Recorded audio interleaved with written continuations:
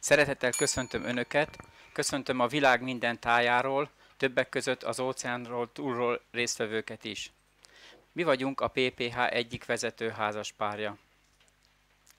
Én Takács Játszint vagyok. Én Takács Anasztázia vagyok. Nagyon örülünk, hogy megtiszteltek minket jelenlétükkel. A Problem Prevention Holding, röviden a PPH, a Hunol Trade részvénytársaság, a Nyílt Akadémia és a Tanoda 2000 Kft. közös élet- és emberismeretfejlesztő képzésén. A mai képzés két részből fog állni. Egy tudatosságfejlesztésből, továbbá egy ember és életjobbító coach képzésből.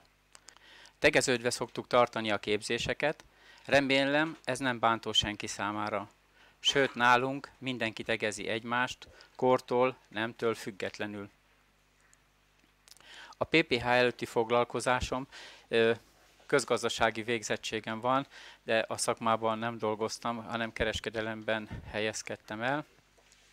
Mára viszont már a PPH tanulói csapatszervezés a fő tevékenységem. Kondorfán élek a családommal, párommal, Anasztáziával, és jelenleg már csak két gyermekünkkel, mert hat gyermekünk van, és kettő jelenleg itt van velünk, és ennek nagyon örülünk, hogy ők is eljöttek velünk.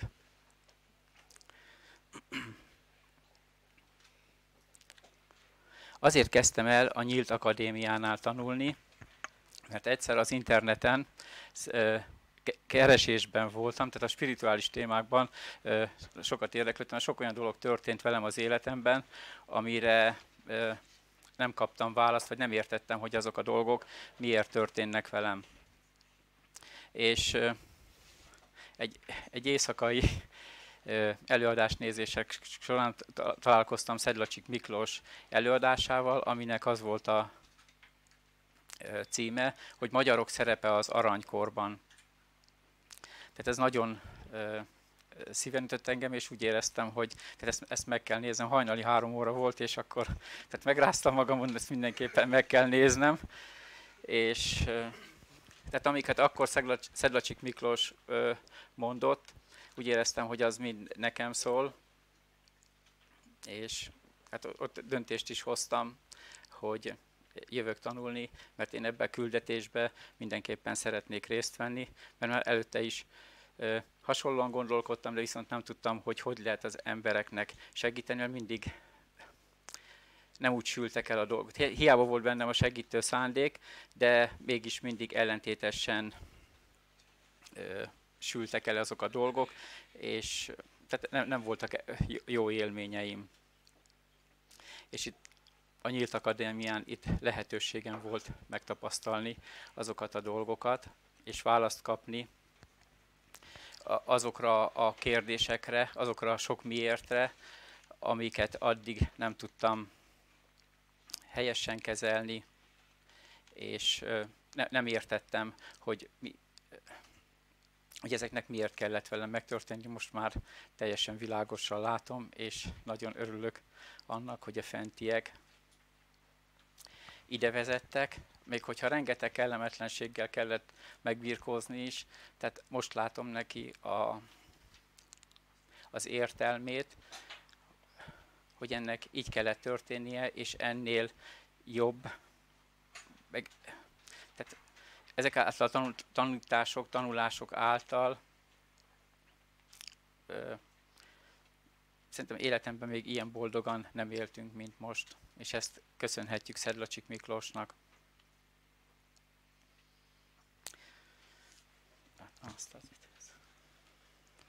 Nekem a PPH előtti foglalkozásom ö, több is volt. Az el, ö, először mérleképes könyvelő voltam, és egy könyvelőirodám volt. Hát elég sokat dolgoztam, egy igazi mókuskerékben voltam benne, és nagyon szerettem volna belőle kiszállni.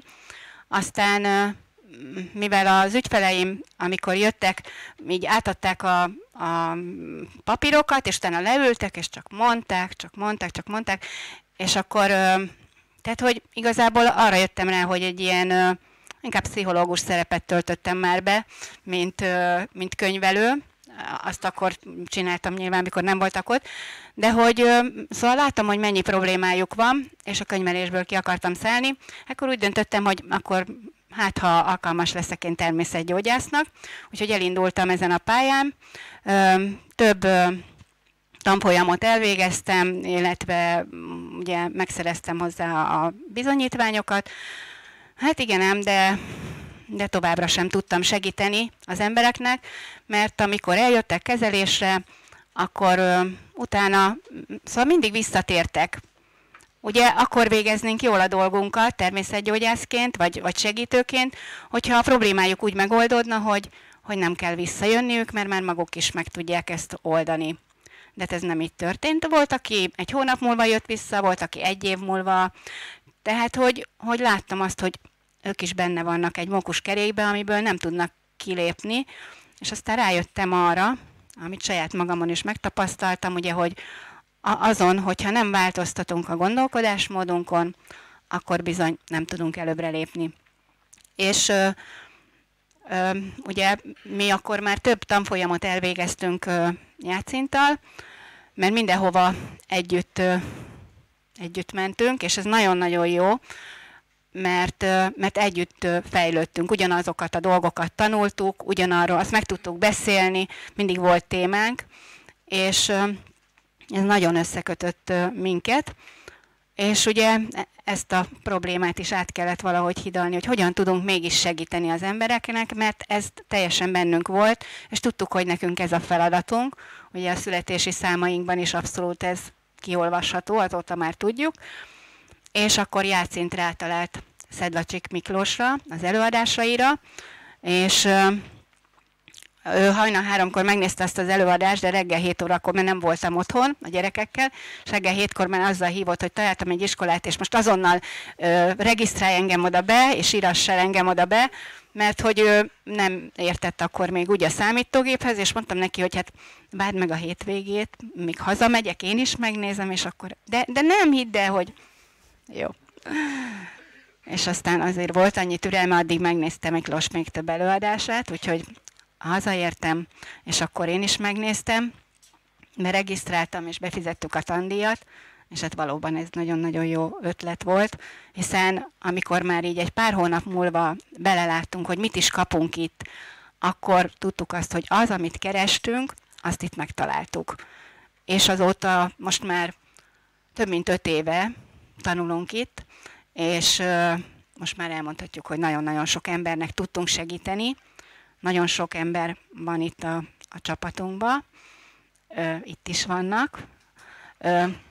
Olyan most ez az iroda, mint egy kicsi szeminárium lenne, mert hogy még az ajtó előtt is ülnek, a bejárati ajtó előtt nagyon sokan vagyunk, és, és az is nagyon jó, ahogy Jászint mondta, nekünk hat gyermekünk van, ez mindkettőnknek a második házassága, tehát Jászintnak is kettő, nekem is kettő, és van közös kettő, a, a többiek már nagykorúak, de a kettő kicsi, már nem kicsik ők sem, ők, ők itt vannak most is velünk, és otthon is hallgatják az előadásunkat, sőt a, a lányunk ő már akkora, hogy ő is itt tanul, és szép eredményeket ér el, úgyhogy nagyon büszkék vagyunk, és látjuk, hogy a, a családunkból is a, e, a kezdeti ellenállást ö, leküzdve most már, már öten itt tanulnak a hadgyerekből, úgyhogy azért azt gondolom, hogy ez, ez szép eredmény, és nagyon örülünk neki. Sőt, most már a,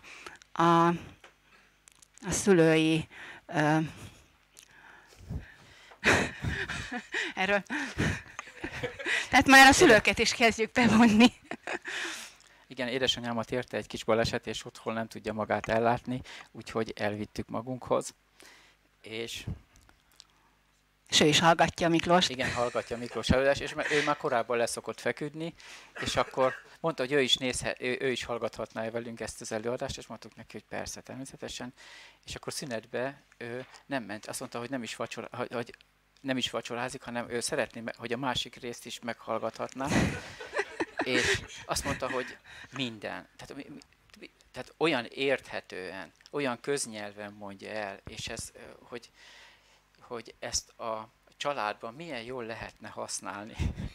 Igen, hogy volt egy csomó felismerése, hogy mennyi mindent rosszul csinált ők is nyilván, mi de hogy a családban meg mi is, tehát hogy nagyon gyorsan ö, felismerte ő is ezeket az élethelyzeteket, és és most nálunk nekünk nincsen tévénk, úgyhogy ő otthon tévét néz, de most nem tud tévét nézni.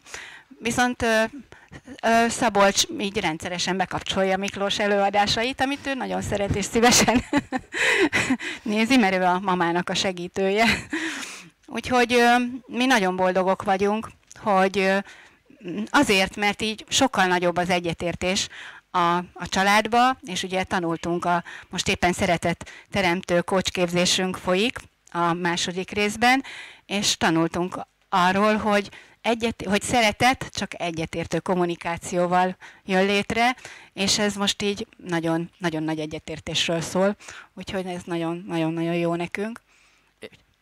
És régóta éreztem már, tehát már többször volt, mikor házigazdák voltunk, említettem, hogy a, tehát amikor a családba meg tudjuk azt valósítani, hogy helyreáll a lelki, családi béke, akkor ö, létrejön a, a legkisebb egységben, vagy a legkisebb közösségben az egység, és azt ö, annak az örömét megélni és megtapasztalni, szerintem az, az egy nagyon fantasztikus dolog, és hogyha ez ö, létrejön, akkor onnantól kezdve amikor az egész család azt sugározza, akkor sokkal nagyobb remény van arra, hogy, hogy mások is lássák ezt a példát, vagy ezt a mintát, és törekedjenek arra, hogy a családjukban béke és szeretet legyen. És azt tapasztalom még, hogy tehát mindenki vágyik arra, hogy szeretet és béke legyen a családjába, de a hogyant azt, azt nem, tudják. nem tudják, igen. És azt itt, itt a PPH-nál meg lehet kapni az élet minden területére. Hát ez így van, ez így van. És ugye, hogyha a családunk rendben van, és tényleg boldogságban él, az nyilván kifele látszik, mert sugározza minden egyes tagja, akkor, akkor utána arra nagyon lehet építkezni. Akkor, hogyha az embernek van egy csapata, akkor bátran mondhatja azt a tanulótársának a, a, a csapatba, hogy én már ezt megcsináltam, én már ezen keresztül mentem, és ha így csinálod, akkor jó lesz.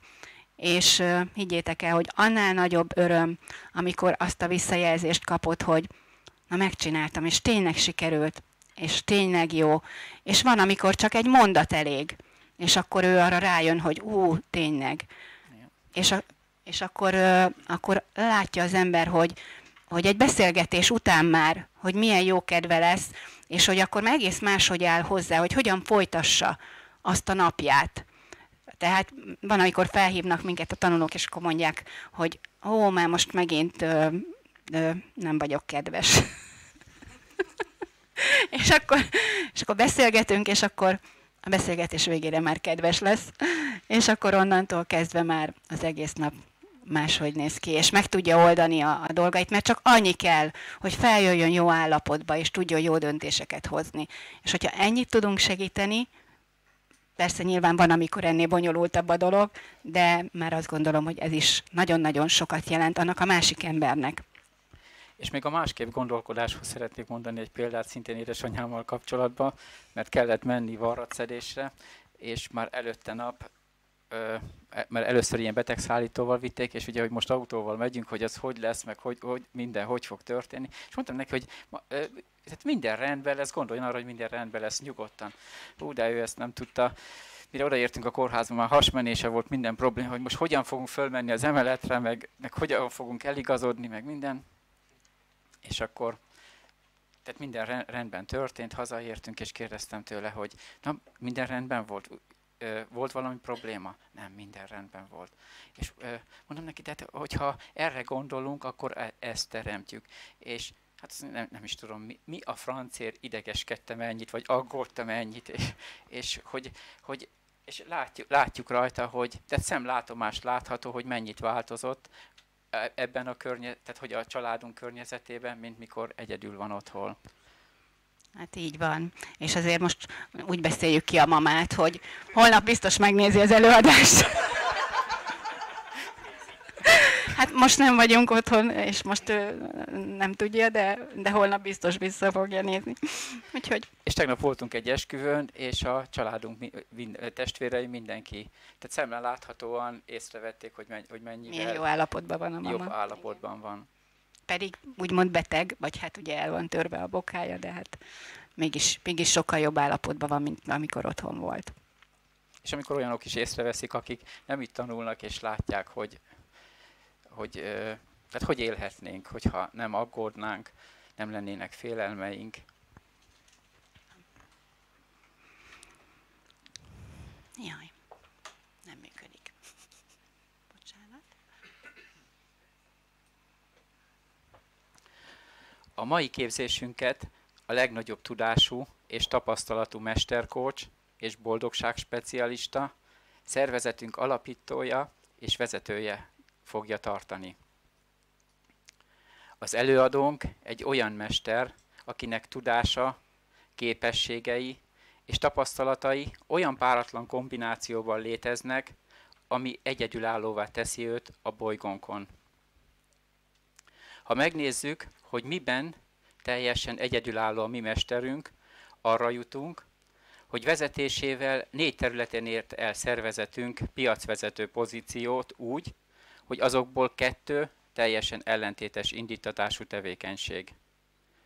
Mesterünk az egyetlen személy a Földön, aki az emberek javára egy kalap alá tudta hozni az anyagot és a szellemiséget. Ő az, aki mindennapokban használható tudásterén a legtöbb információ átadására képes ma a bolygónkon. Neki van a legrészletesebb információja a bolygó szinten legkésőbb 2035-re létrejövő elnyomásmentes aranykorról. Mesterünk küldetése az emberek lelki fejlődése, és olyan szintre emelése, hogy képesek legyenek szeretetben, békében és boldogságban élni azért, hogy bekerülhessenek az aranykorba. Szeretném megkérni mesterünket Szedlacsik Miklós mesterkós, hogy jöjjön és tartsa meg a mai képzést. Nagyon sok szeretettel köszöntök mindenkit. Elnézést. Lehet, hogy kicsit sok volt tegnap az a csak nem 8 órás beszéd, amit csináltam. Ki az, aki látta? Oké. Oké. Okay. Okay. A vendégségben voltam egy egy helyen és ugye az élő közvetítésbe kiment és ugye kezdtük mikor? kettőkor és akkor tízig úgyhogy hát az volt közte ilyen szünet is de hát ott se hagytak. Tehát ott is folyam, folyam elnézést mindjárt rendbe jön. Ott is folyamatosan beszélni kellett. És hát miről szoktam beszélni? gondold végig mennyire vagy elégedett azzal ami felé halad a világ. Hm? tehát amilyen világunk van ugye sokáig mondtam azt vagy 20 éven keresztül hogy mennyire vagy elégedett a jelenlegi világgal főleg ugye az elmúlt 13 évben. És most már oda jutottunk hogy most már nem kell azt mondani hogy merre felé halad a világ mert már ott vagyunk. Tehát ott vagyunk abban a világban ami hát amiben nem kéne lenni. Tehát nem kellett volna ide jutni ahova jutott gyakorlatilag mondjuk Európa de úgy is mondhatnánk hogy a világ és miért jutott oda a világ ahova jutott? azt gondolod hogy a politikusok? hát de mi választottuk a politikusainkat nem? nem? tehát azt mondják hogy olyan a olyanok a vezetők amilyen a nép hát ezt mondják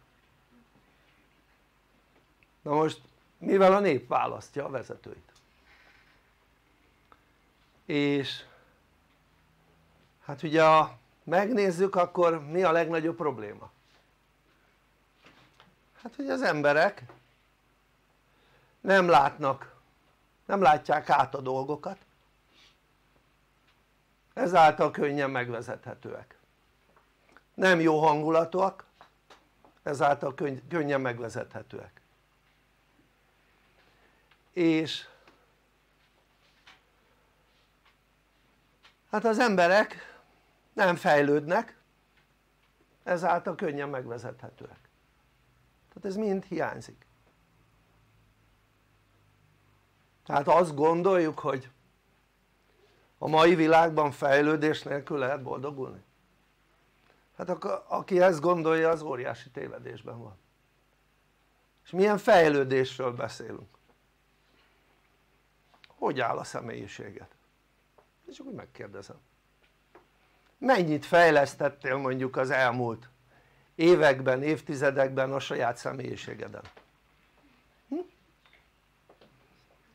honnan mérhető hogy valakinek a személyisége az fejlődött?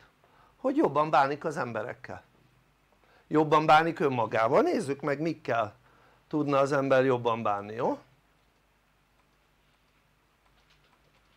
tehát önmagaddal, pároddal, szüleiddel, gyerekeiddel, másokkal, munkáddal, pénzzel, környezeteddel, hatóságokkal, Isteneddel. Tehát hogy az ember ezeken a területeken könnyebben boldoguljon. Tehát most gondold végig itt van ez a tíz terület. Nem hiszem hogy találnám még további területeket itt van ez a tíz terület, hogyha ezen a tíz területen jól tudnál boldogulni, jobban éreznéd magad a bőrödben? Hm? biztos nem? de vajon az hogy ezekkel a területekkel hogy kell bánni? mennyire tanították meg a szüleink? hát nem igazán mennyire tanították mondjuk a tanáraink az iskolákban? azok se hát akkor honnan lehetne megtanulni? hát sehol nem tanították, sehol nem volt mondjuk kötelező tanítási mondjuk tanterv. Hát akkor az embernek magának kellene választani azt hogy hát akarok-e fejlődni vagy nem akarok? Akarok-e boldogulni az életemben vagy nem akarok? Akarok-e ezeken a területeken boldogulni vagy nem akarok? Mert mindenkinek a saját döntése. De ez a saját döntés ez nagy mértékben meg tudja határozni az életedet. És mindenkinek az életét. Ugyanis ha valaki azt a döntést hozza hogy akar fejlődni ezeken a területeken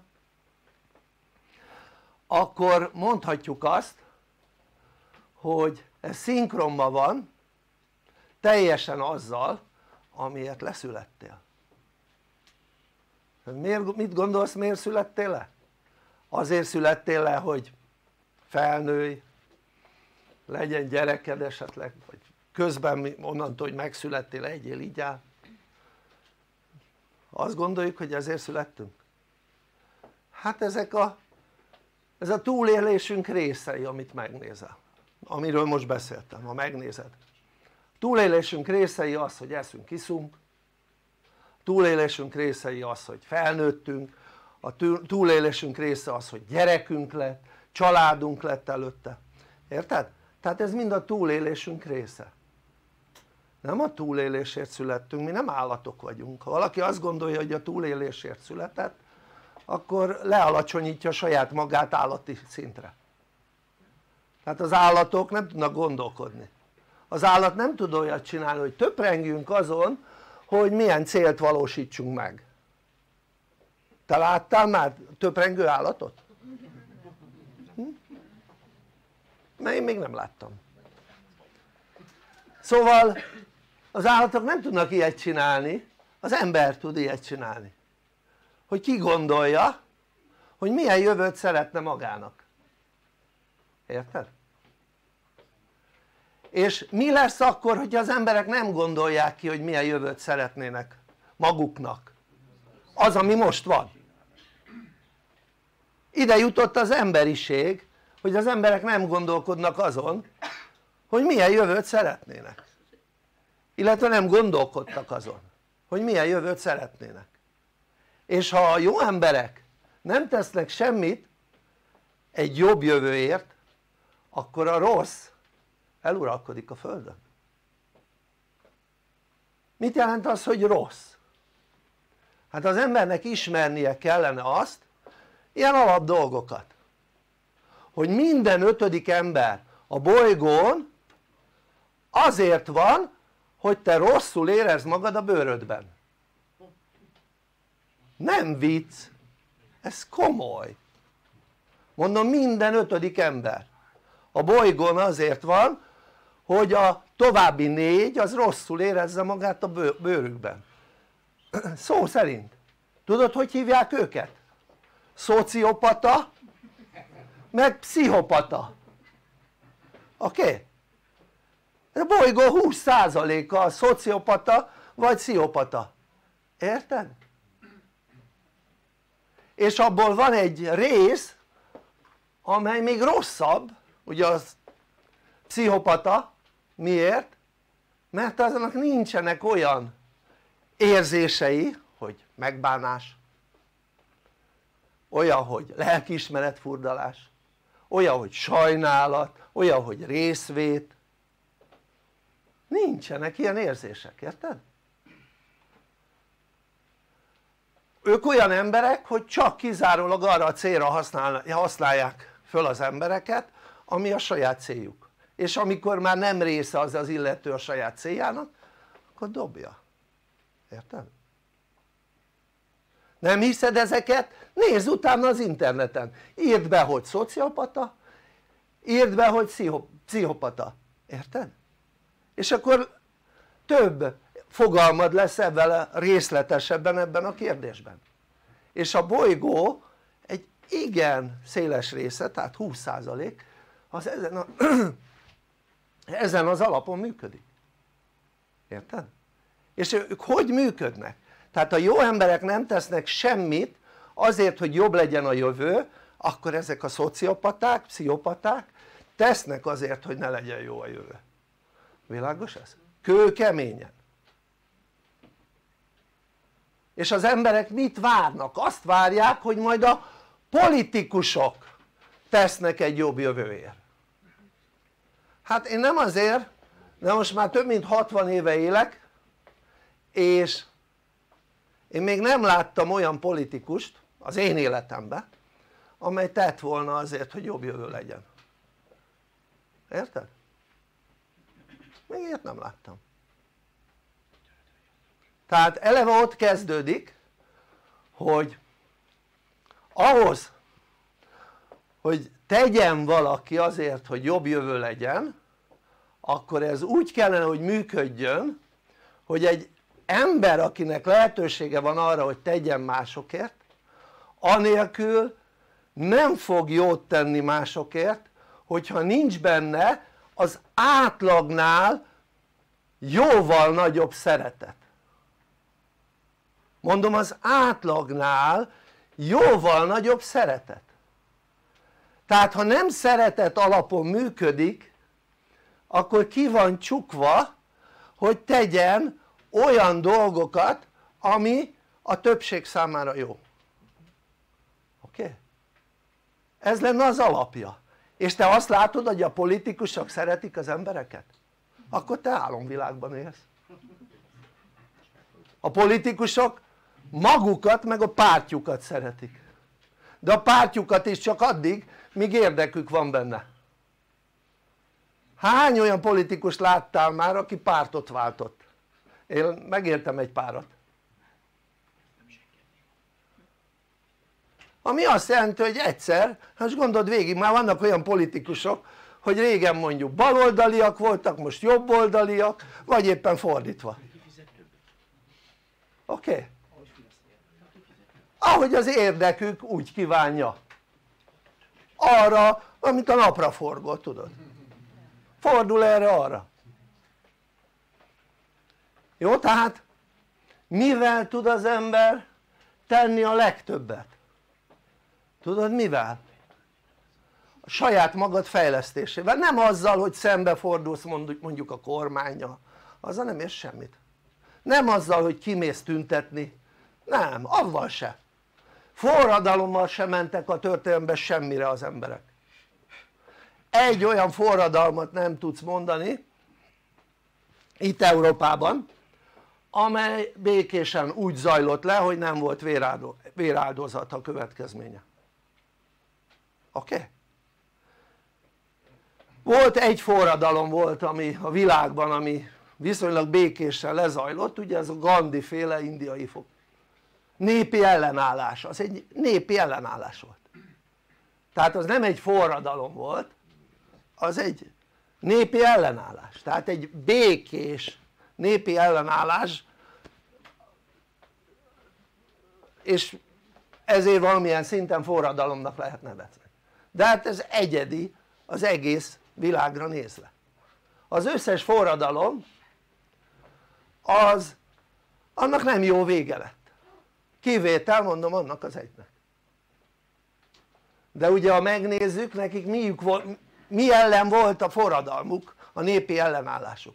Egy idegen hatalom ellen. De az országok kormányai az nem idegen hatalom hanem a nép választotta azt a hatalmat. Érted? és a legtöbb forradalom ha megnézed nem idegen hatalmak ellen történt hanem a saját kormányuk ellen és mire mentek vele? semmivel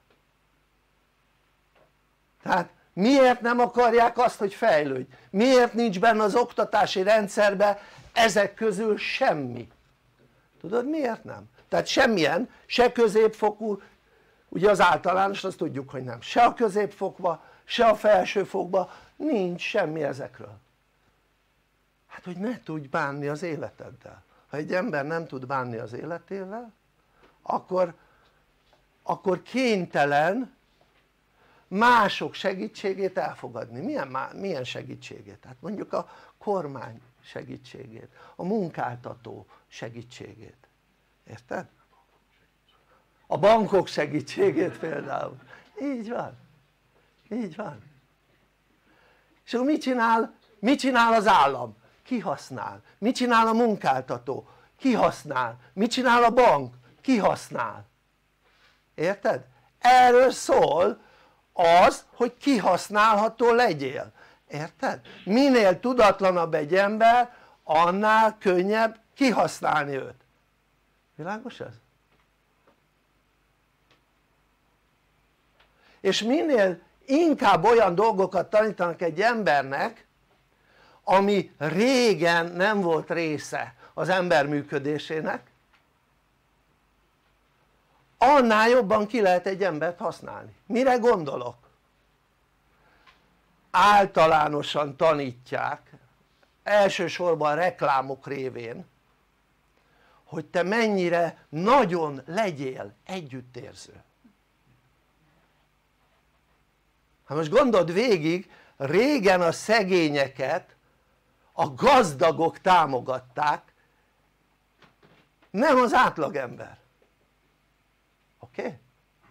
Most a gazdagok elvárják hogy az átlag emberek támogassák a szegényeket a gazdagok meg röhögnek a markukba miért? mert arra játszanak hogy beléd nevelték az együttérzést és ezáltal az emberek adakoznak nem adakozni kellene hanem tanulni és fejlődni. Világos ez? adakozás az mindig a gazdagok feladata volt csak valahogy 45-től nem. 1945-től onnan valahogy ez a dolog megváltozott.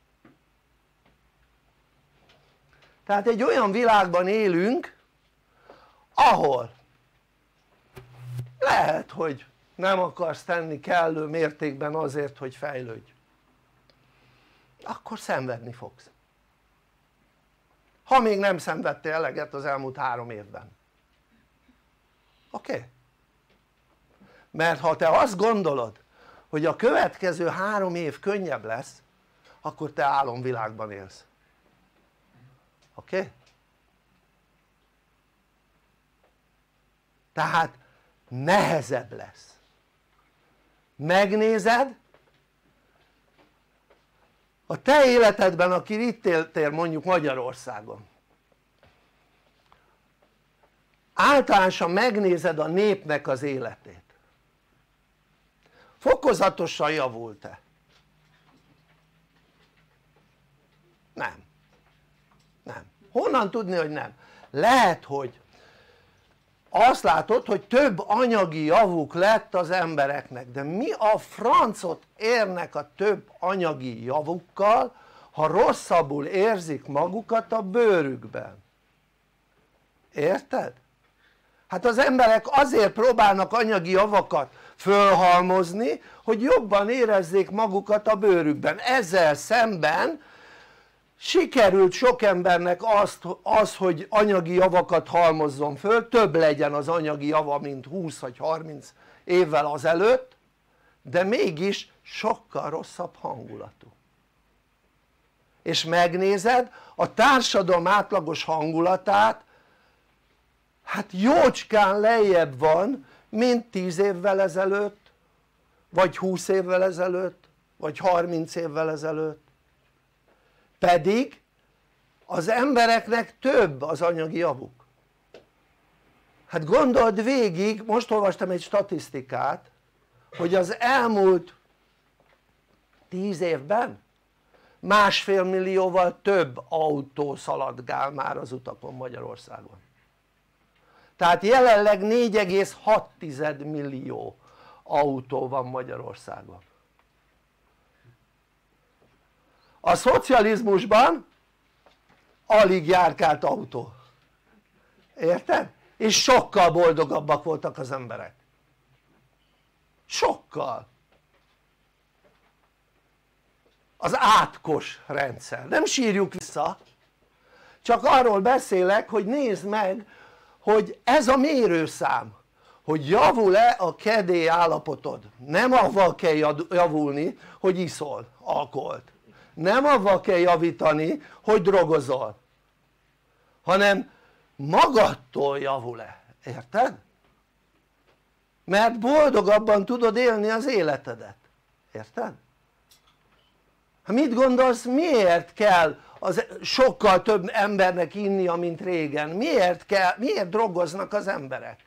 mert olyan rossz állapotúak hogy azt gondolják hogy az az egyetlen megoldás arra hogy jobb legyen a hangulatuk. Miért? mert ezek a szerek eltompítják az érzékelést. És az illető ezáltal jobban érzi magát. De nem ez a megoldás. Hát ha valaki alkoholistává válik nem könnyű leszokni róla. A drogról sokkal nehezebb leszokni sokkal. Ráadásul ugye a drog az ki se tud ürülni a szervezetből a leszokás által. Az alkohol az legalább ki tud ürülni a szervezetből. De a drog az nem.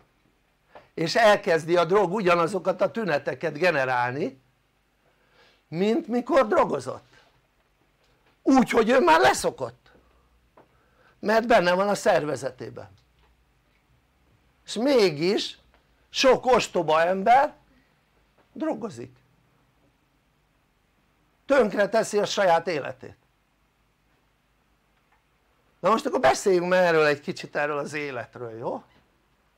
erről az élet tönkretevéséről most szerinted te azért születtél erre a bolygóra hogy tönkreted az életedet? Hm?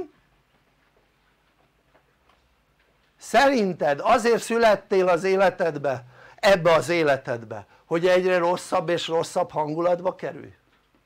szerinted ezt vállaltad leszületésed előtt? vagy nem érted az egészet most mit, miről beszélek? hát most gondold végig nem tudom hogy a te tudásod az milyen szinten van az enyémét tudom most gondold végig a tudásod kapcsán hogy melyiket szeretnéd jobban. Azt hogy neked egy életed és egy halálod legyen és soha előtte semmi, soha utána semmi. Vagy pedig azt szeretnéd hogy ez a földi lét ez egy állomás. És volt előző életed is és lesz utána életed is ez, ez élet után melyiket szeretnéd? hát erre azt tudom mondani hogy ha te azt szeretnéd hogy egy életed, egy halálod akkor te egy hót sötét ember vagy nem bőrszínre gondoltam oké? Okay? akkor egy olyan alacsony tudatállapotú ember vagy hogy közelítesz az állatszinthez. Nem vicc. Szó szerint. Ha ezen te most megsértődsz mert ez az igazság semmi gondom nincs ezzel. Mert nem én sértődtem meg hanem te. Oké? Okay? tehát gondold végig melyik a jobb? Tehát melyikbe szeretné jobban hinni? Abba hogy egy életed van egy halálod van vagy, vagy az élet sorozatod van. Melyikbe szeretnél hinni? Az hogy te a papucsállatkától származol az egy, ugye egysejtű, az egysejtből lettünk, azt, azt tanítottuk, tanultuk biológiában, nehogy azt mondta, hogy nem. Vagy teremtettek téged. Náladnál, nálunknál sokkal értelmesebb lények. A lelkedet sem most teremtették és a testünket sem most teremtették. Jó a szüleidből lettél az egy dolog. Látszólag ugye a szüleid hozták létre a testedet. De magát az emberi testet nem a szüleid hozták létre. Hanem magát az emberi testet 4000 ezt a fajta emberi testet ezt 4500 évvel ezelőtt hozták létre. Ezt a fajta emberi testet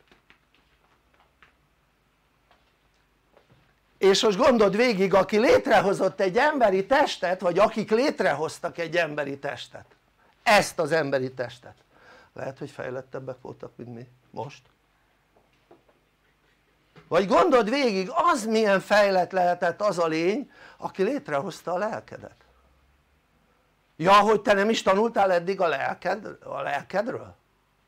nem is tudod azt hogy az ember három részből áll? Hogy van egy olyan hogy test, lélek és elme elme hát ezt tudni kellene minden embernek, ezt tanítani kellett volna az általános iskolába nekem sem tanították az általános iskolába de tanították 98-tól oké? Okay? miért?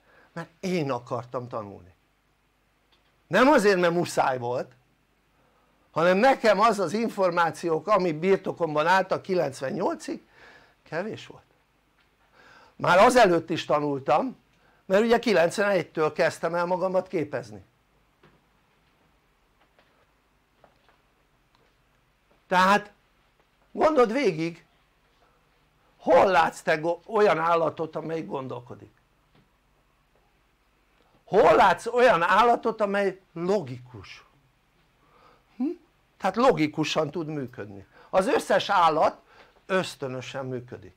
Az ember is képes természetesen ösztönösen működni de az embernek van egy óriási előnye az állatokkal szemben hogy képes logikusan gondolkodni. Honnan tudni ezt? voltak rá kísérletek. Fogták a majmot és a gyereket és van ez a játék tudod hogy ilyen gömb és vannak ilyen idomlukak rajta és van pár ugyanolyan idom és csak egy lukba lehet beletenni. És ezt nem mutatták meg. A gyerek simán kitalálta logikával hogy hogy kell avval játszani. Érted? a majom nem tudott vele kezdeni semmit. Érted? pedig a csimpánzal próbálták ki.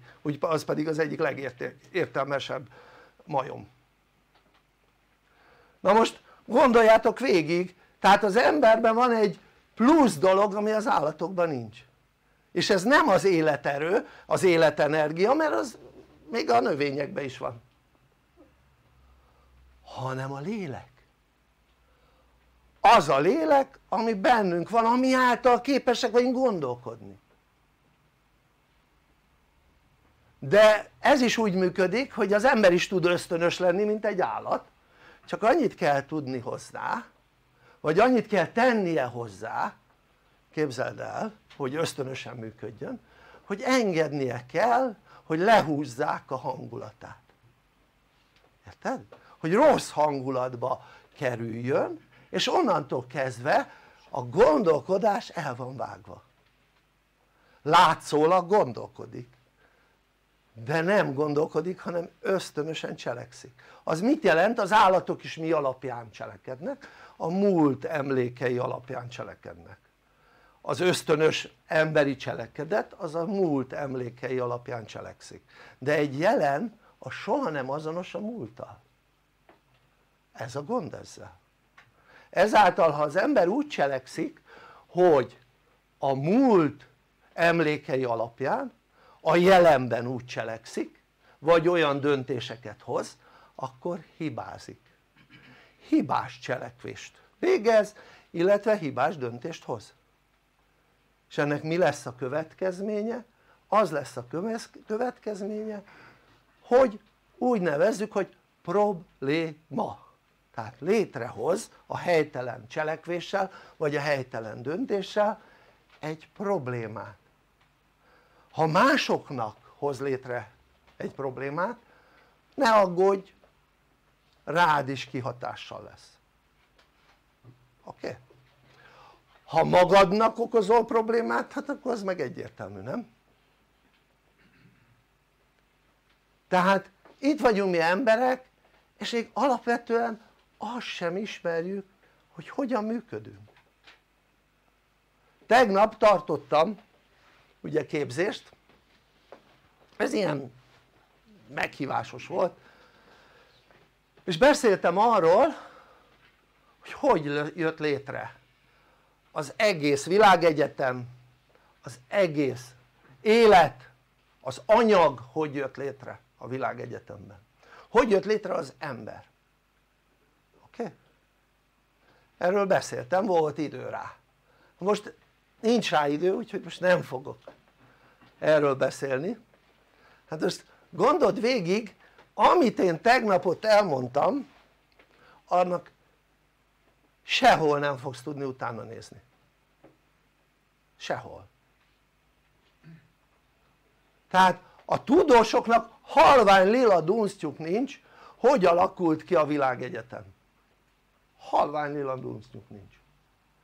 És amit tegnap végighallgattatok a teremtéssel kapcsolatban az megnézed teljesen logikus. Tehát a, a világegyetem teljesen logikusan épült fel. Ami azt jelenti hogy logikus élő organizmusok hozták létre. Tehát élő lények. Na most az hogy most az az élő lény az energia értelmes energia lény vagy teste is van ebből a szempontból a részletkérdés. Tehát ha például te nem úgy jöttél volna le a földre hogy előtte kitörölték az előző életi tudásodat akkor lehet hogy vagy az előző életi, összes életi tudásodat akkor valószínűleg tudnál kibejárni a testedbe érted? tehát ami azt jelenti hogy a testedet úgy használnád mint egy ruhát de mivel minden olyan élet ami mondjuk emberi létformában töltöttünk el az emberi létformából való kikerülés és utána egy újabb emberi létformába visszakerülés az mindig úgy történik meg hogy mielőtt visszakerülünk kitörlik a tudásunkat ezáltal mindent elfelejtünk és elfelejtettünk amit előtte tudtunk. De az a kitörlés az nem kitörlés az elmentés. Az azt jelenti hogy elmentették az összes tudást. Tehát hogyha például mondjuk tételezzük fel mondjuk 5 inkarnációs folyamattal ezelőtt jöttél le a földre tehát magyarul ez az ötödik életed. Mondjuk 5 élettel ezelőtt jöttél le a földre és előtte a földön nem töltöttél el életet. Akkor ez úgy működik hogy neked volt valószínűleg több millió vagy több tíz millió vagy akár több milliárd éves tudásod és mikor először lejöttél mondjuk ezt a több millió vagy több milliárd éves tudást fogtak és elmentették. Majd lett ez a négy élet, előző négy élet és minden egyes halálozás után mielőtt újra születtél kitörölték azt az információt amivel az előző életben rendelkeztél de ugyanúgy hozzámentették ahhoz a millió vagy milliárd éves tudásodhoz tehát az a tudás az nem vész el tudod mikor veszhet el? ezt még nem mondtam sose ha eladod a lelkedet a pokolbélieknek a lentieknek, a gonosznak oké? Mert ők nem tudják visszaszolgáltatni a te tudásodat világos ez? Úgyhogy baziszar ügy azoknak akik eladják a lelküket mert mentesülnek a több milliárd éves tudásuktól oké? Okay? na most gondold végig hogy hát de miért vagy itt? mit csinálsz itt? azért vagy itt mert fogalmad nincs mert azt gondolod hogy azért vagyunk hát ugye miért vannak itt az állatok meg a növények ha megnézed a biológiai körforgás része az összes állat és összes növény. És a biológiai körforgásnak a csúcsán az ember van. Tehát mondhatjuk azt hogy valamilyen szinten az ember működését szolgálja ez a biológiai körforgás. Tehát azt is lehet mondani hogy ez a bolygó úgy lett megteremtve hogy az ember, embert szolgálja a biológiai körforgás. De az nem azt jelenti hogy felél, fel kell élnünk mindent. Nem ezt jelenti. Mert azzal leáll a biológiai körforgás ha mindent felélünk. Tehát mivel az ember gondolkodó lény ezért ugye törekednie kell arra hogy a biológiai körforgást fenntartsa mint értelmes lény. Fenntartsa a biológiai körforgást. És a biológiai körforgás fennmarad az az embernek is jó természetesen. Most gondold végig hogy mi miatt vagyunk itt. Ha mi vagyunk a, ennek a biológiai körforgásnak a csúcsán akkor azért vagyunk hogy túléljünk. Azért vagyunk hogy fogyasszunk miért jöttünk le? nem ezért. Azért hogy fejlődjünk. Hogy megéljünk sokkal rövidebb időszak alatt sokkal több problémát mint amit fent megéltünk. Tegnap kérdezték olyanokat lehet hogy már nem hallottátok hogy ki honnan jött. És ugye én nekem van kommunikációm a fentiekkel. Ha hiszed ha nem. Ezt ugye akik itt tanulnak tudják hogy így van. És, és például tegnap ugye megnyílt egy csatorna avval kapcsolatban hogy tudtam mondani sőt volt aki megérezte és jól tudta magára vonatkozóan mondani hogy honnan jött mielőtt a földre jött oké? Okay? honnan jött? oké? Okay? tehát melyik rendszerből ugye a mi rendszerünk az a naprendszer de számtalan rendszer van a világegyetemben és hogy melyik rendszerből jött oké? Okay? Sőt azt is megkérdezték sokan hogy akik ott voltak hogy hanyadik élete? És erre is megkapták a választ az ott lévők. Jó? nem voltunk egyébként annyian most ott mint most vagyunk úgyhogy ez egyszerűbb helyzet volt. Szóval lény ilyet még előtte sose csináltam egyébként. Tehát lényeg az hogy ugye elég jól tudom hogy mi volt. Mi lesz? Érted? mi lesz? Azt is tudom. Tehát mi várható? Azt is tudom.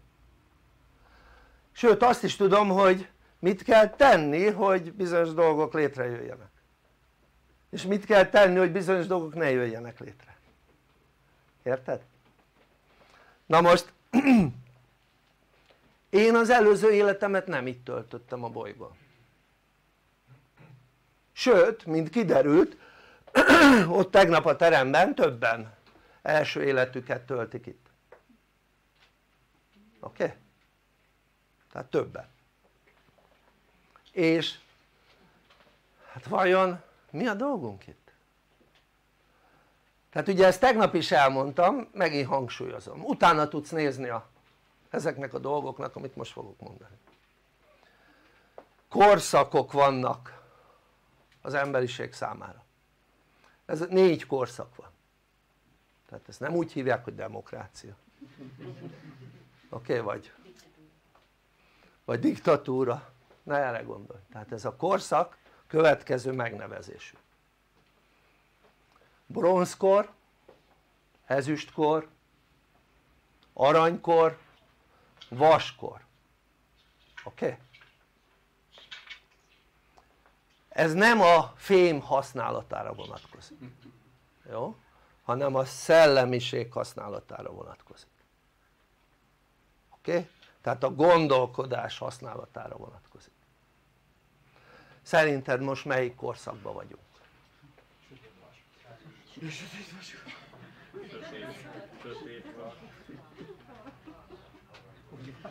Szerinted hogy vannak ezeknek a fejlettségi szintjei, szellemi fejlettségi szintjei?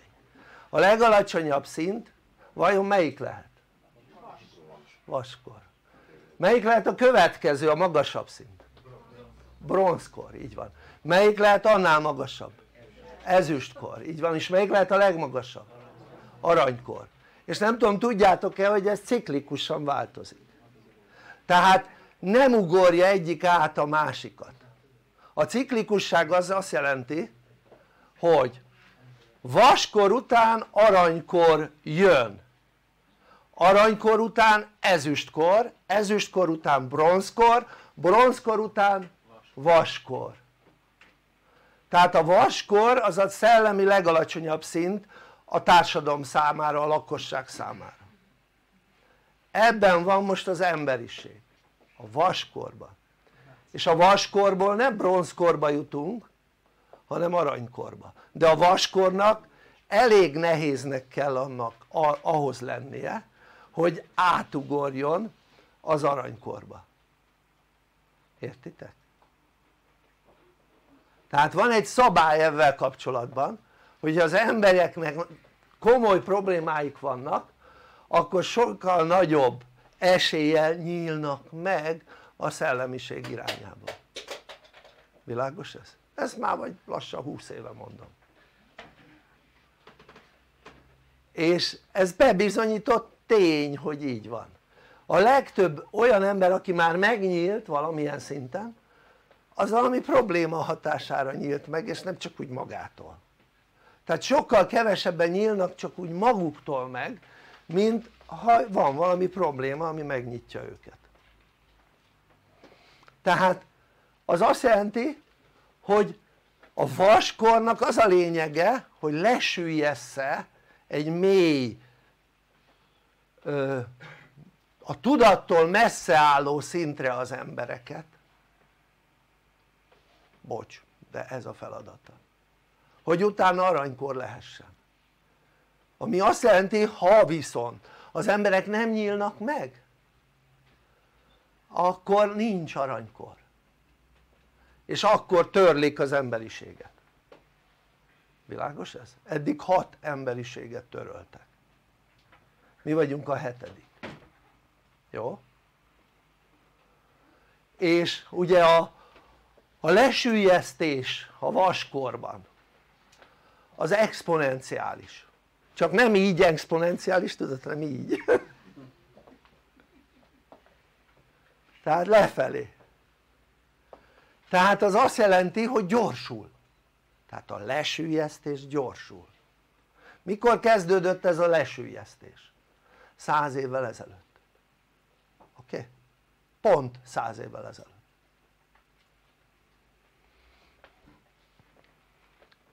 és úgyhogy ha te azt gondolod hogy javulás lesz akkor az azt jelenteni hogy nem lenne aranykor. De 2035-ig ezen a bolygón aranykornak kell lennie. Érted? tehát sürget az idő.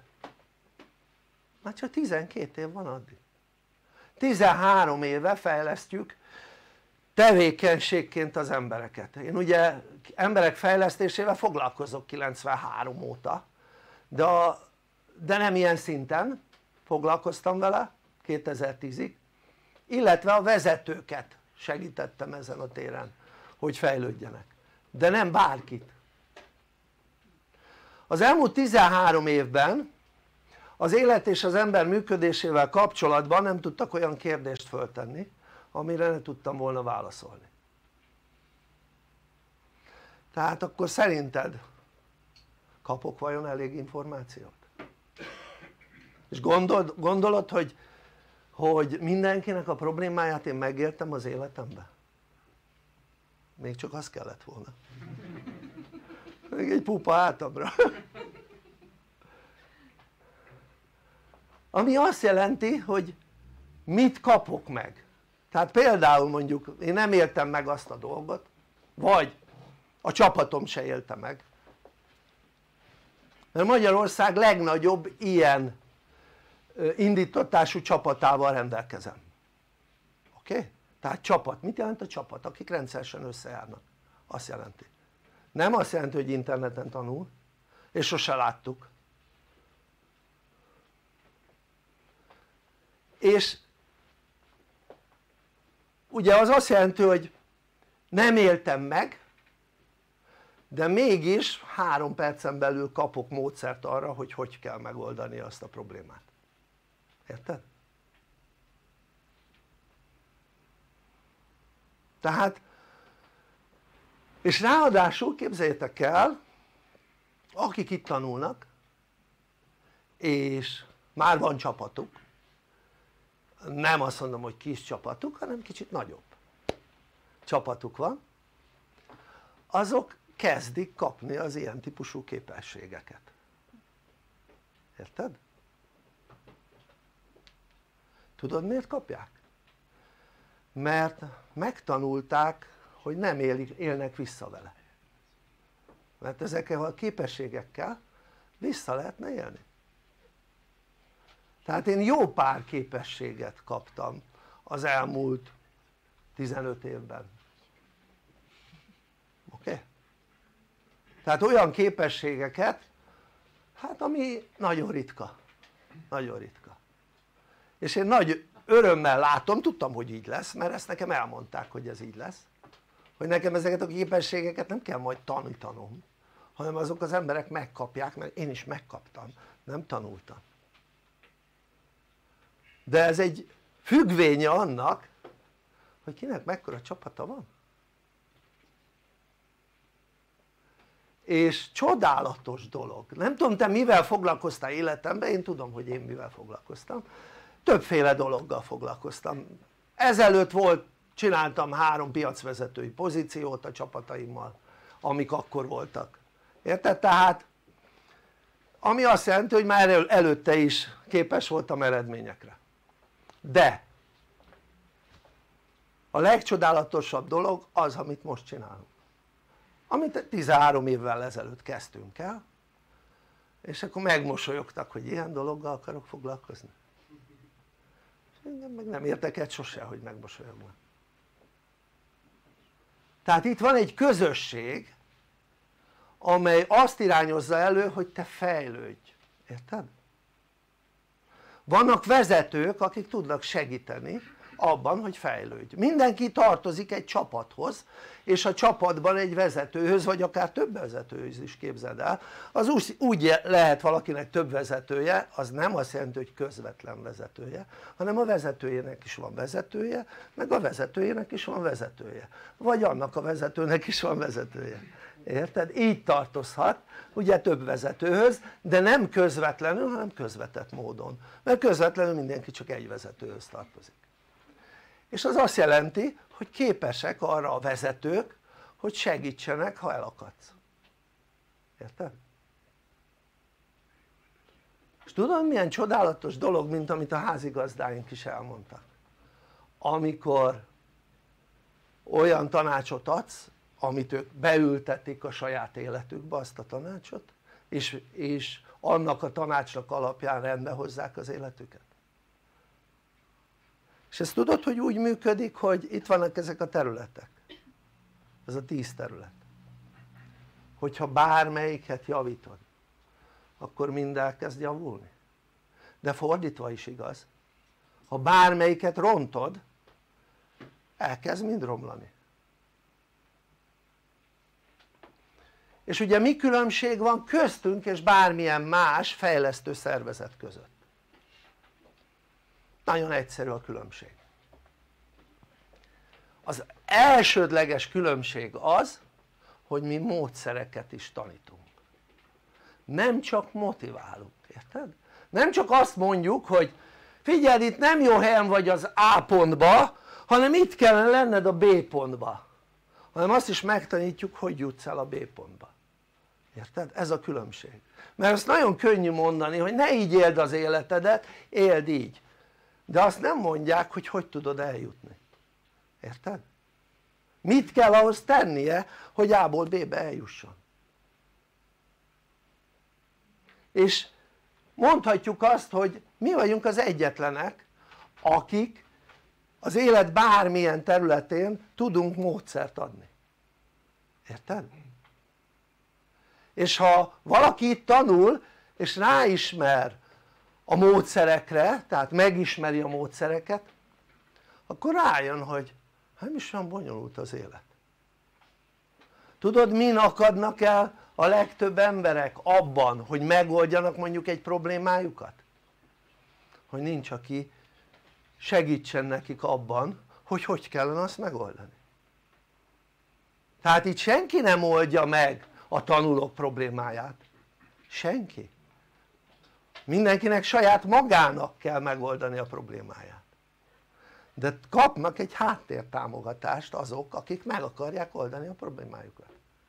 Persze olyanok e- emberek is vannak akik ragaszkodnak a problémáikhoz.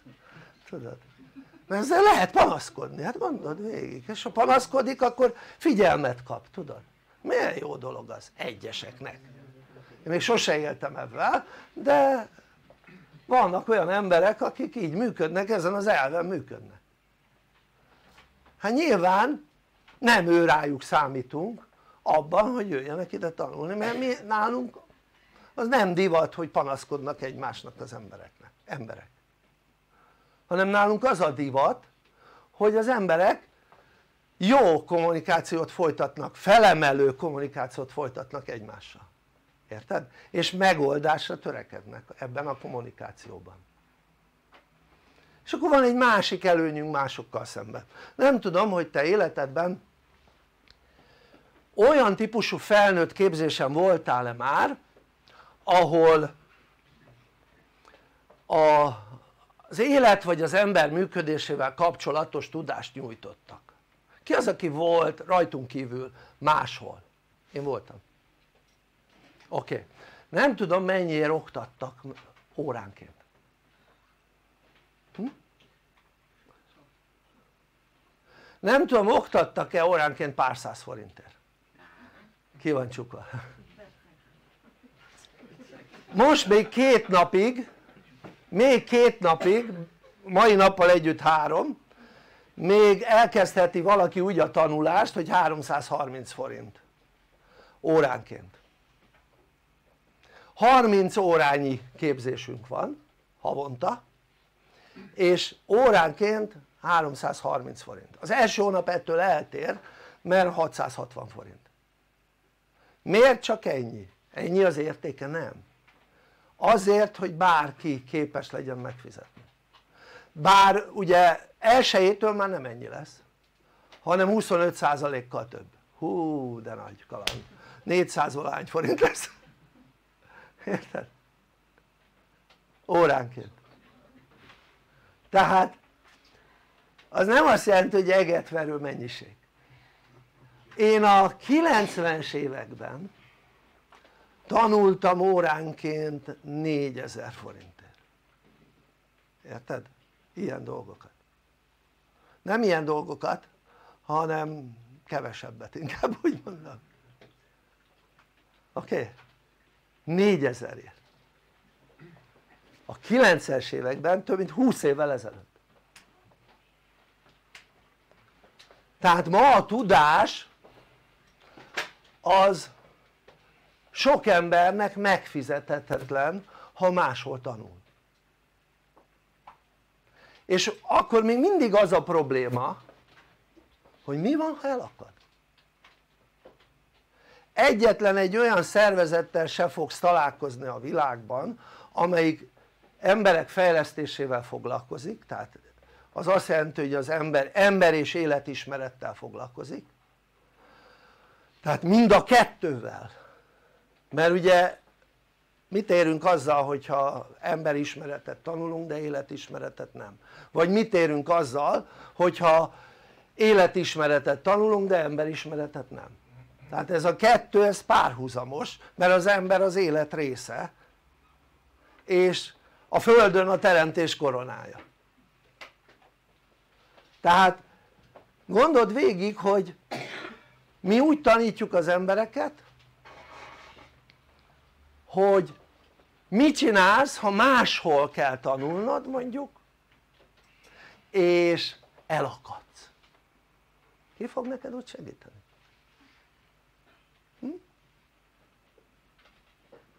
Az az egy előadó?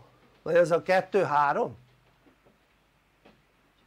mi minél többen vagyunk annál több itt a vezető és nem úgy lett valaki vezető hogy azt mondta hogy hát én itt vagyok szuper tudással rendelkezem és én előadást akarok tartani és majd én vezetem azokat akik már itt vannak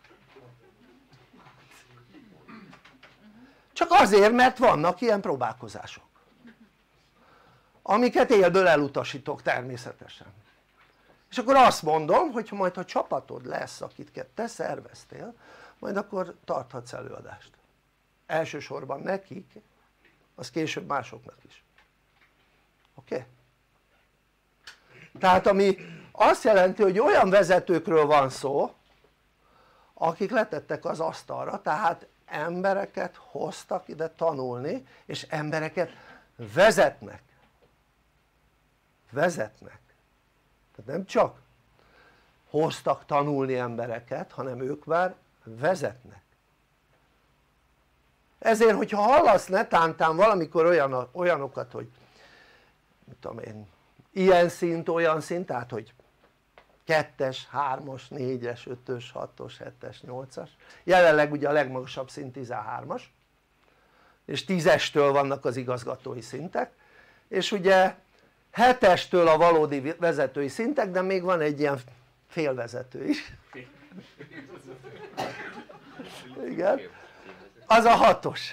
Az a hatos.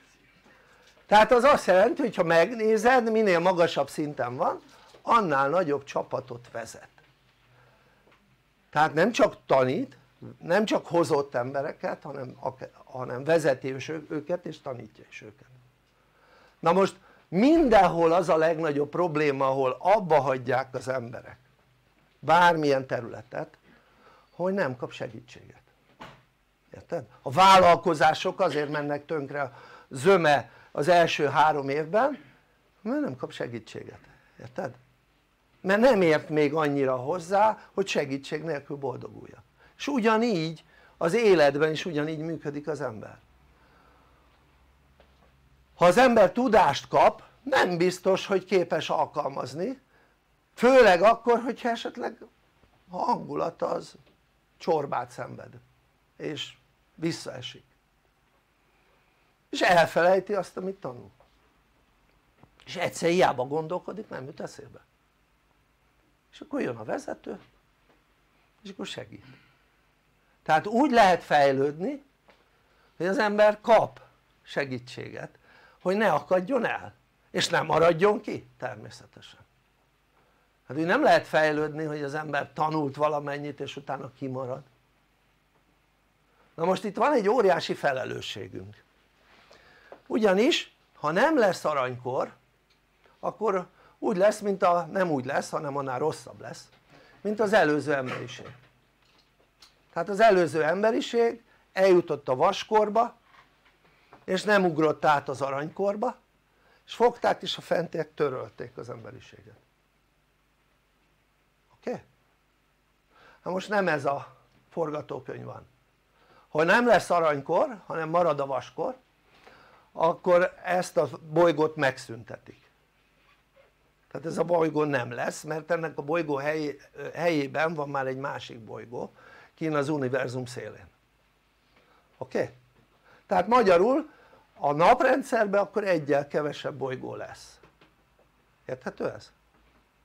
tehát nem a naprendszer szélén van egy bolygó hanem az univerzum szélén van egy naprendszer ami ehhez hasonló mint a miénk és ott van egy olyan bolygó ahova lehet inkarnálódni oké? Okay? Technika nélkül mert honnan indult az ember fejlődése? ősközösség, emlékeztek? milyen jó lesz ott neked ha nem akarsz fejlődni az ősközösségi társadalmi formában tök jól fogod magad érezni nem? majd szaladhatsz a kartfogú tigris elől tök jó lesz érted? kergetheted a mamutot ha adni akarsz de frankó lesz és ez nem, nem vicc, ezt komolyan mondom. Tehát ez nem vicc, nevetségesnek tűnik de ez nem vicc. Miért törlik ezt a bolygót? mert az emberiség rezgése útba van az univerzumunkban. Tehát ez az univerzum már kiépült és túl közel vagyunk a központhoz, érted? tehát ez, hogy értsed ez olyan mint ami volt itt Budapesttel kapcsolatban tudod mekkora volt? Pest. A kiskörútig tudod. A kiskörútig volt Pest. És a kiskörút túloldal az már városszéle volt. Érted? utána lett ugye a, a nagykörút igen a város. Utána lett a Hungária körút a város. Érted? a város széle és az azt jelenti hogy mindig, nem véletlenül gondold végig a temetők azok nem épülnek be egy városba. Azok a város szélén, a település szélén épülnek. Hát most meg a város közepén vannak a temetők. Érted? és ugye hogy történt ez? ez úgy történt hogy a kiskörút volt a város széle és a kevésbé dolgos elemek azok a város szélére települtek. Az a nyolcadik kerület volt oké? Okay? és, és lényeg az hogy képzeld el teltek múltak az évtizedek és a nyolcadik kerület az már lassan városközpont lett és azok a kevésbé dolgos egyének nem voltak oda kívánatosak oké? Okay? gondold végig, na ugyanez a naprendszerünk csak nagyban hogy a kevésbé dolgos ezáltal alacsony rezgésű földi emberek azok nem kívánatosak már az univerzum ezen részén. És ez nem, ez, ez komoly. Tehát ez komoly, amikor a földet létrehozták az volt az univerzum széle hogy tisztában legyünk ezzel. És azóta nagyobb távolságra épült ki az univerzum mint most mi vagyunk a központtól. Érted? És ez azt jelenti hogy eddig meg lehetett azt csinálni hogy törlik az emberiségeket. És nem kellett törölni a bolygót. Mert még ugye akkor nem volt így képülve az univerzum. De most már úgy kiépült az univerzum hogy ez a hely ha nem normális a rezgése, tehát nem jó a rezgése ennek a bolygónak akkor nem kívánatos helyszín. És az emberiség rezgése határozza meg a bolygó rezgését. És ha megnézed mondjuk az elmúlt három évben azt láttad hogy az emberek hangulata javult. Mert a hangulat függő a rezgésünk. Minél jobb a hangulatunk annál magasabb a rezgésünk. Minél alacsonyabb, rosszabb a hangulatunk annál alacsonyabb a rezgésünk. És az emberiség romlott ebben a tekintetben, nem csak ebben a három évben hanem itt az évtizedek során. Tehát ha megnézzük az elmúlt száz évben mondhatjuk azt hogy ha háborúkat leszámítjuk hogy az egyik legalacsonyabb rezgésű időszak amiben most vagyunk. És ez nem jó, tehát nem jó.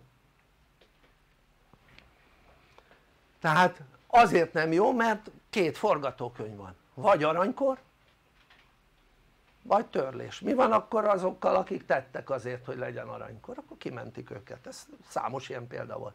Így mentették ki a majákat például ugye a spanyol hódítók elől. Tényleg. Kimentették őket. Fogtak és elvitték őket. Szó szerint. Így tűntek el ugye a ahogy vannak Peruban tudod az a, azok a rajzok. Hogy hívják azt a népet aki ott élt? naszkák, így van. A naszkák is eltűntek. Azok is egyik pillanatról másikra elvitték őket. Érted? és nem egy ilyen nép volt amit, amit elvittek.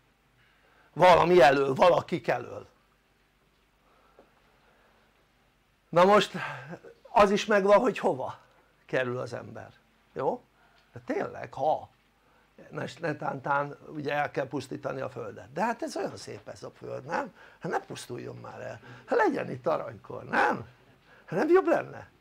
de szerinted az aranykor magától létre fog jönni tehát vagy megemeljük a saját tudatosságunkat vagy itt soha nem lesz aranykor világos ez? soha és itt van egy nagyon fontos feladatunk ezzel kapcsolatban nem csak az hogy tanuljunk hanem hogy minél többen tanuljanak. Tehát minél többen. Miért? hát hogy minél többen bekerülhessenek az aranykorba. Mert nehogy azt hitt hogy bárki bekerülhet. Szociopaták, sziopaták ki vannak csukva? Érted? azok mennek oda ki. Mennek oda ki a perifériára, érted? az új bolygóra és milyen jó lesz azoknak akik odainkarnálódnak a szociopaták meg a sziopaták közé, képzeld el? szuper lesz. Szóval az aranykorban nem lehet elnyomás, ez egy szabály és nincs elnyomás. Tehát azok ki tehát a halál és a, tehát az élet és a halál az a fentiek privilégiuma. Tehát hogyha ők nem intézték volna akkor te nem születtél volna meg a testedbe, érted? és ez azt jelenti hogy a legtöbb esetben mikor főleg ilyen ok nélküli halálokat látsz akkor fogták és kivonták a forgalomból. Persze ha valaki tönkreteszi a saját szervezetét akkor nem kell kivonni a forgalomból mert, mert kivonja saját magát persze. Vagy ha például mit tudom valaki öngyilkos lesz akkor se kell kivonni mert akkor is kivonja saját magát tehát ezeket leszámítva gyakorlatilag azok amikor viszonylag gyorsan hal meg valaki és, és idő előtt az mind kivont oké? Ha nem olyan hogy tényleg tönkretette magát jó? és kivont, tehát az azt jelenti hogy a fentiek gondoskodnak arról hogy a, az elnyomók azok ne éljék meg az aranykort oké? Tehát ebbe bízhatsz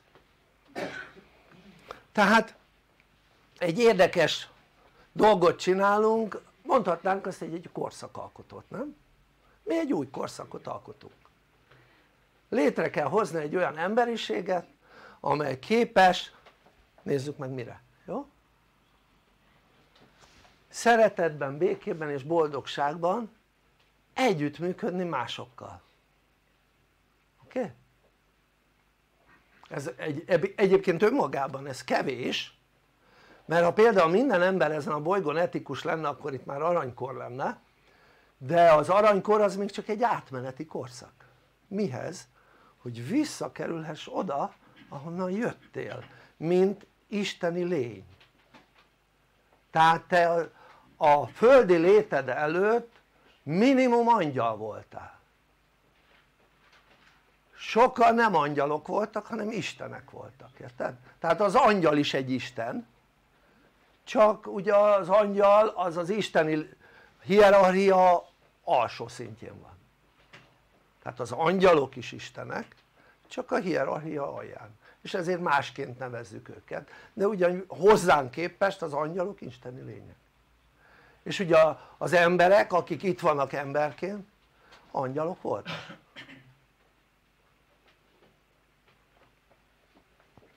tehát korszakot hozunk létre van bőven dolgunk várunk ebbe a korszakalkotásba szeretettel. Köszönöm szépen a figyelmeteket, szeretlek benneteket. Visszaadom a szót a házigazdának.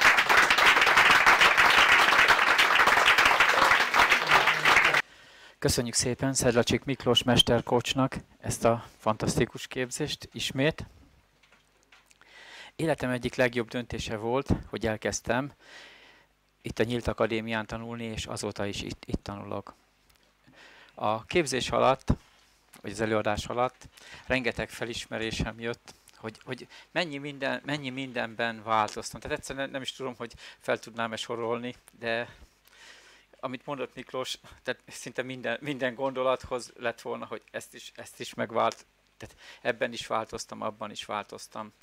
Tehát amit fel volt sorolva a tíz életterület, úgy hiszem, hogy nyugodtan kijelenthetem, hogy mind a, mind a tíz életterületen változtam. Azt nem mondom, hogy minden rendben működik még, de de nagyon-nagyon sokat változtam, tehát saját magamon érzem azt a változást, hogy tehát mennyivel másabb minőségű életet élünk. tanúsítom és a leges legfontosabb, amit kiemelnék, amit Szedlacsik Miklóstól tanultam, a, a hitelesség. Tehát, hogy nagyon sok helyen jártunk, nagyon sok ö, tanfolyamot végeztünk, nagyon sok ö, vezető vagy tanító emberrel találkoztunk, de senkinek az életében nem láttuk azt a magabiztosságot, azt a tisztaságot, és azt a céltudatosságot, amit Szedlacsik Miklós képvisel, és olyan dolgokról beszél, amit szerintem a Földön nem sok tanító mert kijelenteni, vagy el, elmondani, hogy, tehát, hogy ennek a kornak vége lesz egyszer, és elég rövid időn belül. Tehát csak mindig ilyen finoman közelítik meg ezeket a dolgokat, de beszélnek az aranykorról, de hogy milyen rövid a határidő. Amikor én idejöttem tanulni, akkor még 2070 volt a, a végső dátum, és most már ugye 2035. Tehát, hogyha nem teszünk semmit, tehát a fentiek is látták ezt, hogyha nem teszünk semmit, akkor, akkor lehetne 300 év is, de hogyha nem teszünk semmit, akkor ugyan, ugyan azt fogjuk ö, csinálni, mint eddig. És aki ö, érez magában ö, tenni akarást, vagy ö, vagy hogy szeretne másoknak segíteni, hogy amiket ő megélt, és hogy a, a más, másik embereknek segíteni abban, hogy ő nekik már könnyebb legyen, akkor az, annak, annak te, tenni kell. Mert amit itt tanulunk, ezt egy idő után az ember nem is tudja, mi csak tanulni jöttünk ide, hogy úgy gondoltuk, hogy tanulni jövünk, de egyszerűen ezt nem, nem bírod magadba tartani, hogy, hogy, hogy ezt ne add át másoknak, ne, ne segítsél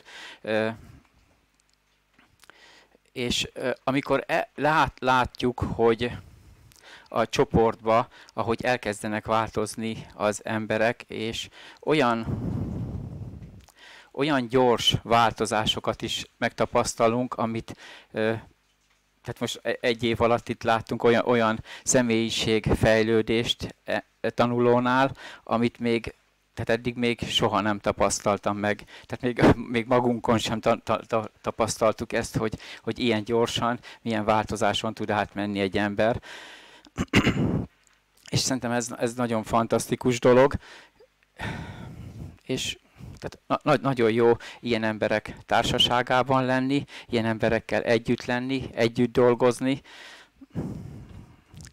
Tehát ez fantasztikus vállalkozás. Hát most röviden ennyi jutott eszembe. Nekem az jutott eszembe, amikor ö, Szedlácsik Miklós tartotta az előadást, így párhuzamot vontam, ugye, mert beszéltünk az elején a családról, hogy ez micsoda fantasztikus dolog, amikor a családunk támogat minket, amikor ők is tanulnak, fejlődnek, és tudjuk azt, hogy ők már nem fogják elkövetni azokat a hibákat, amit mi korábban elkövettünk, mert, mert van hozzá tudásuk, hogy jól, jól tegyék a dolgokat.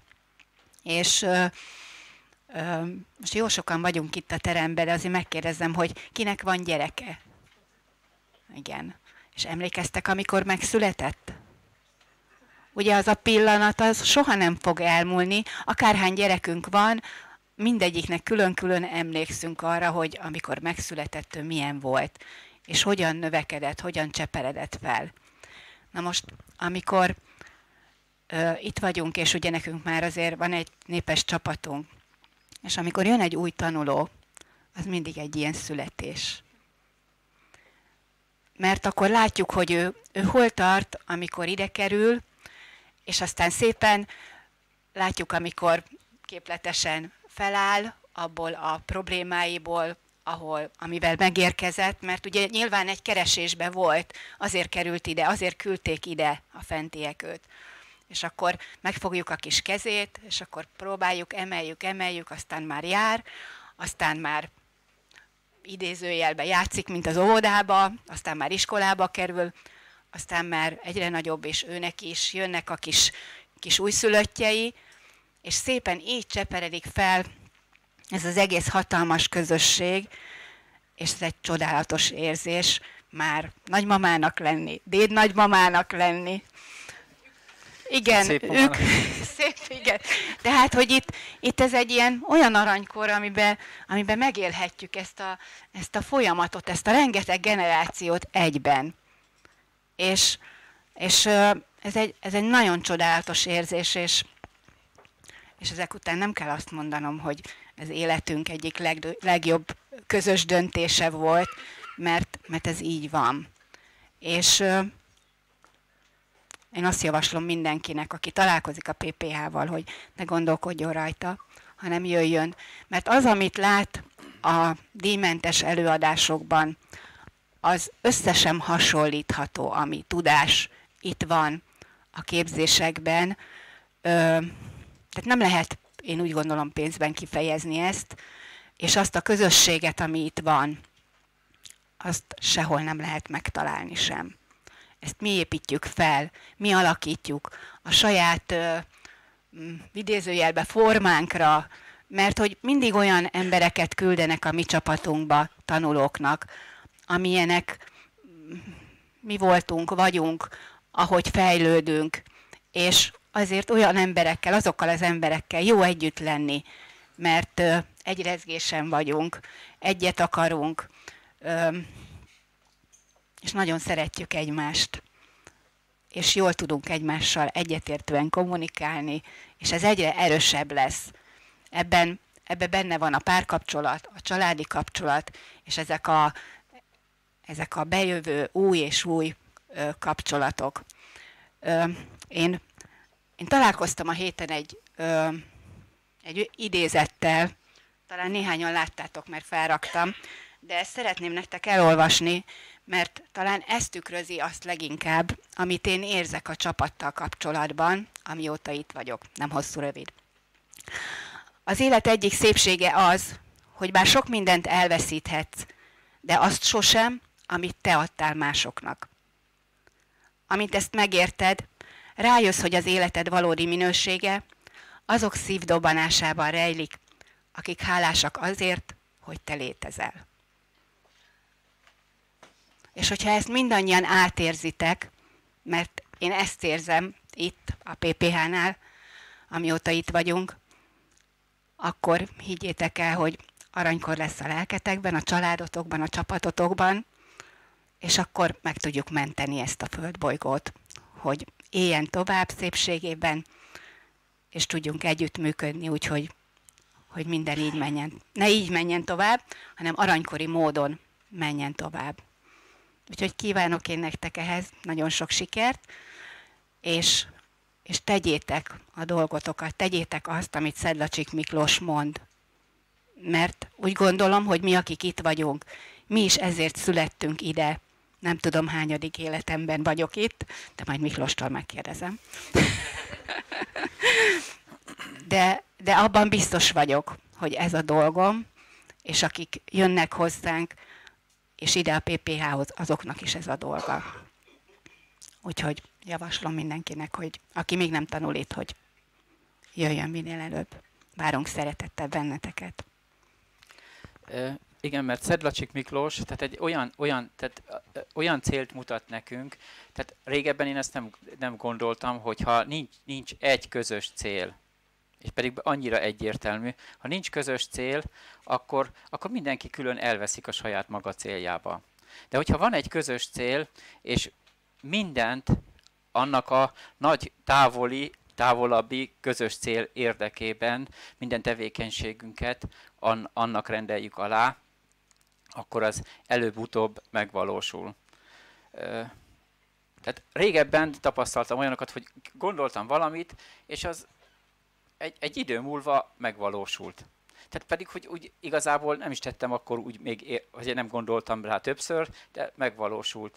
És e, egyre többször látom ezt, hogy ez az életemben így megvalósul. De ha az én életemben megvalósul, akkor biztos, hogy másnál is ugyanígy, ugyanígy történik ez. És hogyha ebbe hiszünk, akkor ez, ez biztos, hogy, biztos, hogy meg fog valósulni, és képesek vagyunk rá, mert annyi jó ember van itt a Földön, hogy hogy meg tudjuk, meg tudjuk ezt csinálni, és ha, aki érez magában annyi felelősséget, nem csak magáért, hanem másokért is, és a, a földbolygóért, akkor jöjjön és tanuljon velünk, és tegyük együtt egy, egy nagyszerű, csodálatos világért.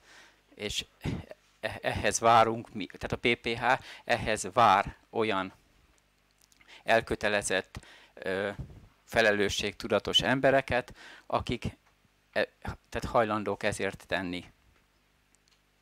Úgyhogy sok szeretettel várunk mindenkit. Még csak azt akarom mondani, hogy, hogy tulajdonképpen mindenkinek saját magáért kell tennie ahhoz, hogy a, a földünk rezgése emelkedjen. Ha a saját személyiségünket fejlesztjük, és tudunk bánni egy, önmagunkkal, egymással, azáltal már mindent megtettünk a, a jövőnkért. Tehát, hogy nem, nem kell hatalmas dolgokat tennünk, hanem bár ez is elég hatalmas, mert azért elég nehéz dolog ugye szembenéznünk önmagunkkal, de ha erre képesek vagyunk, és azt mondjuk, hogy igen, akkor is megcsinálom, mert nem csak én magam vagyok a tét, hanem tét a párom, a gyerekem, a, a családom, a nagyobb családom, itt a csapatunk, a föld, a földbolygó a tét, akkor mi a kérdés? Számomra nincs kérdés. Most pedig szünet következik. A szünet után kócsképzésünk lesz, amely, amelyen ha szeretnél részt venni, várunk szeretettel. Ha úgy látod, hogy nem érdekel ajánlatunk, örülök, hogy részvételeddel megtiszteltél minket, és akkor elköszönünk tőled.